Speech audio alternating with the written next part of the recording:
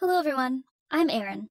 My mom always told me that I was completely normal, but that's not the case. I realized it when I met a guy and decided to do something very stupid for him. I stood on the edge of a bridge and told him I would jump and that I wasn't scared at all, and I jumped. And now my life is ruined. Listen to my story, and then you'll understand why I did it. My parents were weird. They wouldn't let me go to school or play with other children, and always kept the kettle, iron, and knives hidden from me.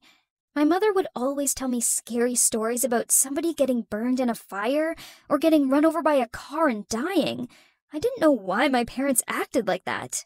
When I turned 16, my mother passed away. She had cancer. My dad was stricken with grief but he found a way to escape. He started drinking.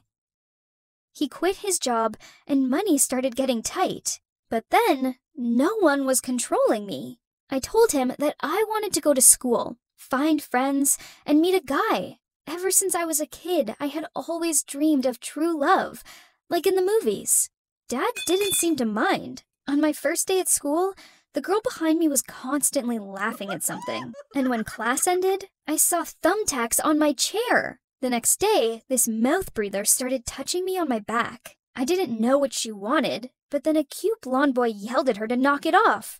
I turned around, and she looked like she'd seen a ghost. Everyone was looking at me the same way. After all, there was a needle sticking out of my back. I was scared too, but not because of the needle because I didn't feel anything. Absolutely nothing. No pain. The next day at school, everyone was staring at me. I wanted to run away, but then I heard, Hey, Invincible. It was the blonde guy. He smiled at me. He said his name was Evan and that I was the talk of the school. Everyone was talking about my super ability to endure pain. Evan and I were immediately attracted to each other. I didn't think that kind of thing actually happens, but we were like kindred spirits, completely on the same wavelength. By the way, that dumb chick turned out to be his ex, and she was a real bitch.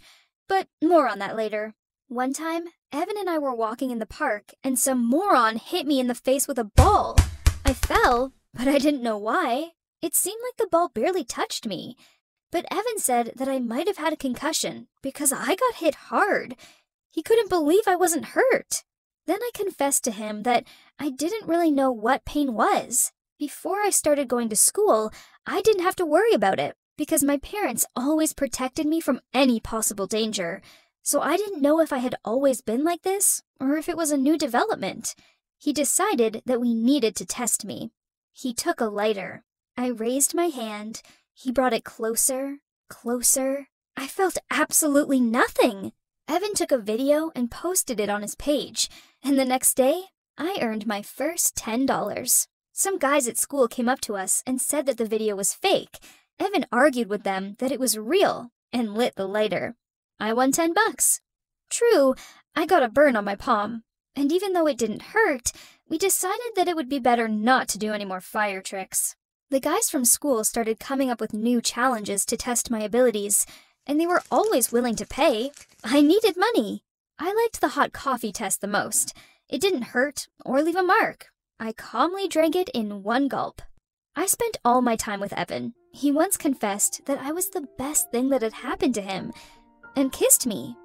It was my first kiss, and I felt it. It was mega cool.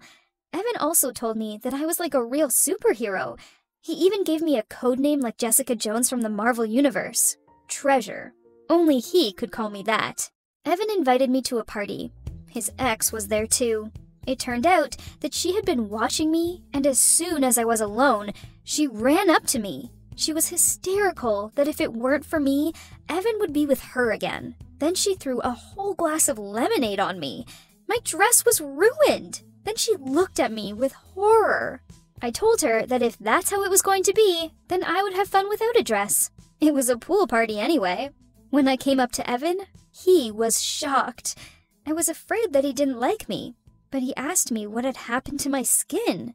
I had blisters. It turned out that the bitch had thrown hot tea on me. By the way, we stayed at that party until the very end.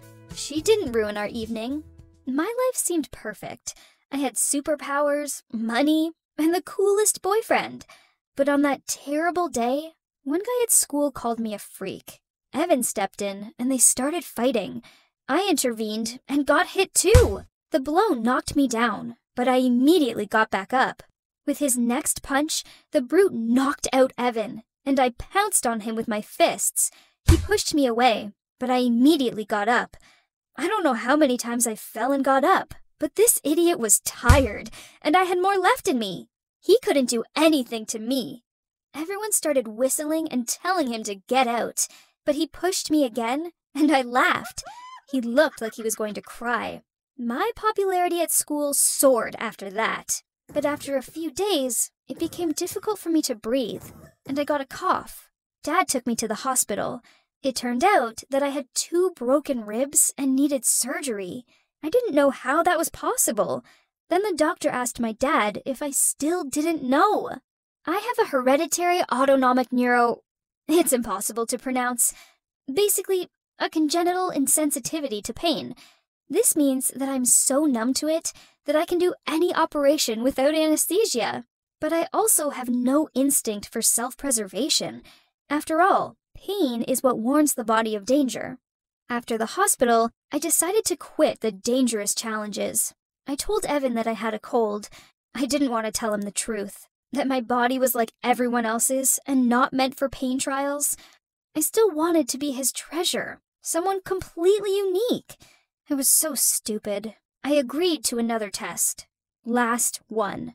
The guys bet $200 that I wouldn't dare to jump from Hell's Bridge. That's the name of the old bridge near the school. There used to be a river flowing under it, but now it was just land. Last year, a guy jumped off of it and broke his leg. It was about 16 feet high. I wasn't afraid to jump, but I also didn't want to break my leg and walk with a crutch for the rest of the year. But $200 is a lot, so I decided to do it one last time. Here's what happened I landed badly, and now I may never be able to walk. My life is ruined. No money was worth that stupid bet. Are you wondering what Evan did? He still supports me and says he loves me, but if I never get better, will he stay with me? I hope that the operation will be successful and I will be able to walk again. Please wish me luck. Take care of yourself and never do stupid stuff for money. Thanks for listening to my story.